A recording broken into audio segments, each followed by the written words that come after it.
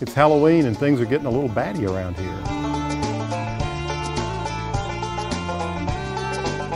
And its hat goes on like this. Well, this is the final step in creating this very expressive pumpkin. It's really easy to do. Let me walk you through the steps.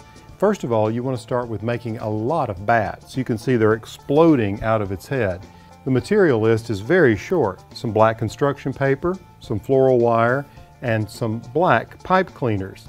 All of that comes together to make something, well, it's a lot of fun. You can see this pumpkin's very surprised.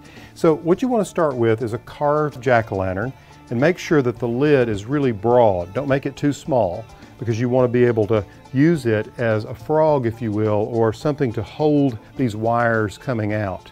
And you can just use the flesh of the pumpkin to hold these wires in place. It's really that simple. And make sure the face is expressive. In this case, I wanted this jack-o'-lantern to look like it's surprised that suddenly its brains have turned into bats. So let's get started and I'll show you how I made these bats. What you want to do is just take a piece of paper, black, or you can use any color you like, frankly, and um, take and fold it into thirds like this, you see? By doing this, with one cut, you can get three bats. So I'm just going to cut this out freehand. Start with the bottom or the base of the bat here, and here roughly in the center, and go up and down with one wing then back up and then all the way to the corner and then back up to this corner for a spike on the wing and then back down to the body like that. Then up and over and down for an ear and then over the top of the head another ear like that and that and here and then we go up to the corner again for the top of the wing and then drop back down like that and it's just two scallops away. One and two. So there we go, three bats.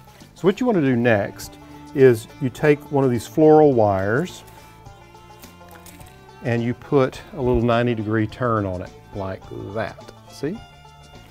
And then you take in the center of the bat, you just apply some hot glue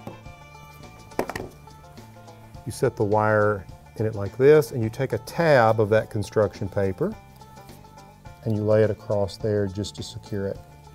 And then you just let that bat sit over here for just a few minutes until the hot glue dries. And while it dries, you go on to the next bat. And you just apply this one here, like this. Take another wire, 90 degree turn on it, Take a piece of your construction paper, apply it to the back, and let that bit rest and dry, okay? Now while that's going on, what I like to do is take some of these pipe cleaners. You see how I've stuck them in the top associated with the bat, is just take the pipe cleaner and wrap it around your index finger for those little curly cues like that. And then you just simply stick those into the pumpkin like this, just into the pumpkin flesh. See, they just fit beautifully. Now the bats are dry and you can fold their wings up like this to give them a little more movement. And then you can just take that wire and tuck the bat into the top of the pumpkin like that. Isn't that fun? Easy to make. Hey, if you like this idea, try one yourself. I'd love to see pictures of it. Tell a friend about it and make sure you subscribe to eHow Home. And by the way, happy Halloween.